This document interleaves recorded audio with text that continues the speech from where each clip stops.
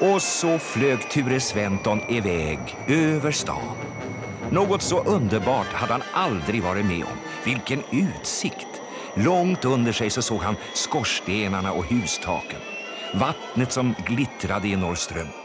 Han gjorde en sväng över Norra Bantorget och aldrig hade han trott att stan kunde se så vacker ut.